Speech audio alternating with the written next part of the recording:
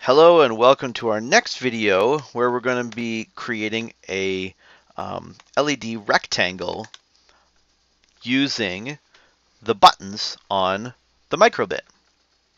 So when we first get in here, we're going to explore with um, the LEDs. And so the LEDs are something that's a little bit new or we haven't explored them before. And um, it allows us to plot and unplot or toggle um, particular uh, LEDs. And so the LEDs, we know that it's a, a, matrix or a 25 LED matrix, 5 by 5, but what do we know about them? And so if we sort of hover over the LED here, it should actually give us um, a coordinate. And so these are addressable coordinates to tell us that this particular LED is actually 0, 0. And if we hover over something like this one, we can see that this one's actually going to be 0, 1, 2, 0, 1. So this one is going to be uh, 2, 1. Now, I don't want to wait here forever and, and try to see if it will, will light up. So I'm going to go ahead and actually, I'm actually going to plot this particular one. So I'm actually going to use the um, on start. And so I said, um, I think that one is 2, 1. So let's go ahead and see if I'm correct. So if I press play, there we are. And so we can see on the simulator that we are going from 0, 1, 2, 3, 4 in our x direction, and our y direction is 0, 1, 2, 3, 4. And so one of you, or you might on, on wonder why is it going increasing as we go down? Well, it's again based on um, computer science and how we start. Uh, often we start in the top left-hand corner when we're counting um, things, and uh, we increase both in a positive and a positive manner, uh, which just makes sense.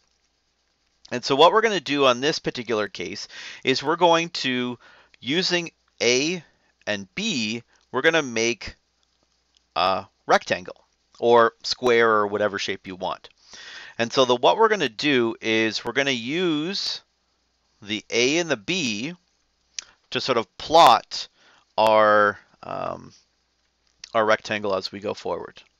So first we need to figure out the position of x and the position of y. And so we're going to go ahead and create new variables. So we're going to say um, pos x or position x and then another one, pos y. Now we're going to start those off at the very beginning at 0. We're just going to put this off to the side. So we're going to say our position of x and our position of y is 0. And then it's not until I push my A or push my B that we're going to start to, to uh, build that up. And so I need to go into my inputs. And so on button A pressed, I'm going to change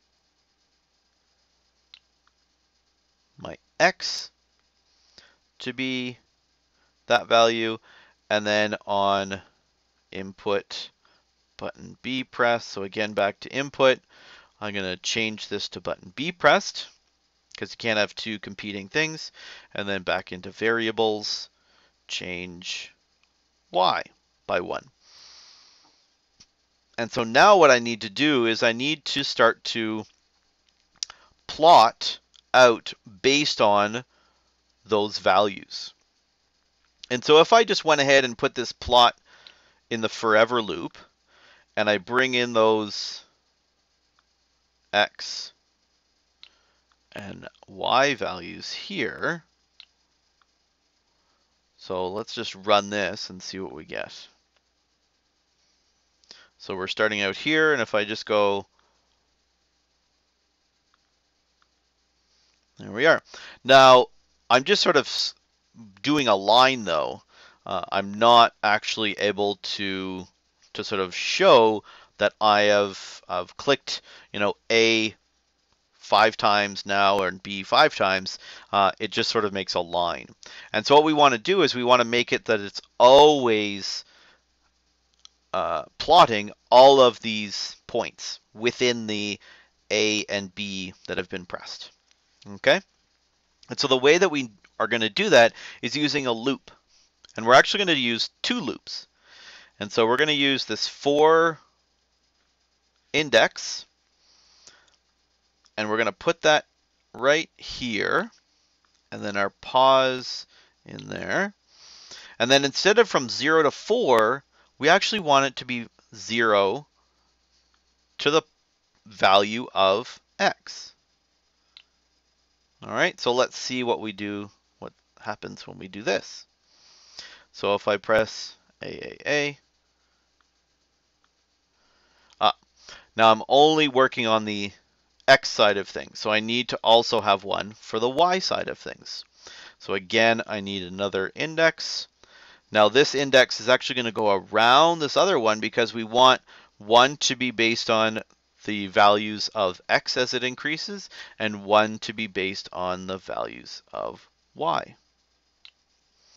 And so, but this index here and here are the same index. So we need to actually change the value there. And so what we need to do is sort of like uh, create a new variable. So we're going to say like LED X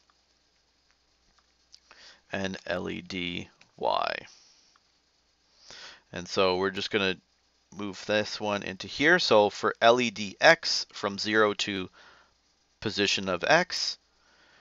And then for, whoops, not that one. We want LED Y. All right, and then so this outer one for the y is now going to be the one that we want. Oh, sorry about that. The one that we want for our y position, and the other one is going to be for our x position. So if we go ahead and try this out, hmm, what are we doing here?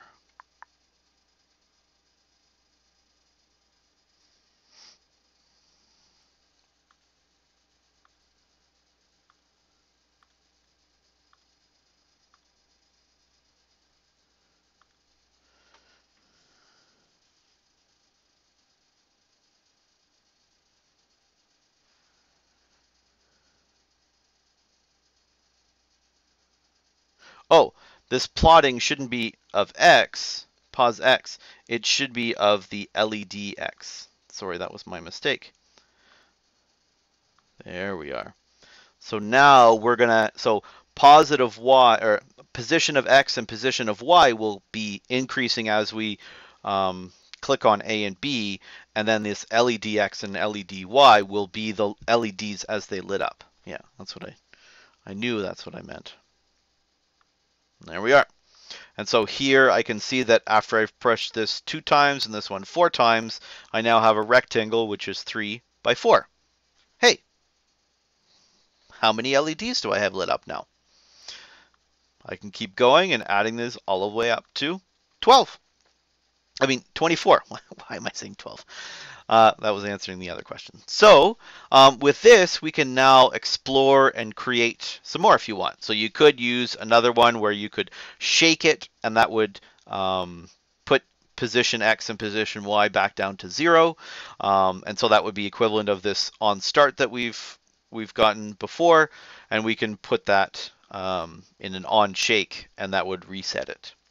So what I'm actually going to do now that we have the microbit right here, let's go ahead and download this onto the microbit. So now that we have paired the microbit, so again, we, we go in here and we click pair.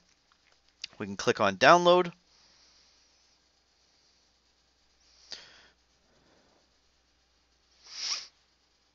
And then on the microbit, you'll see just that single LED is lit up.